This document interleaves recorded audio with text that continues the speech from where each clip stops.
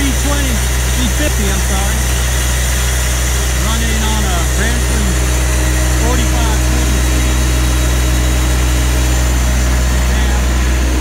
The 47 horsepower tractor.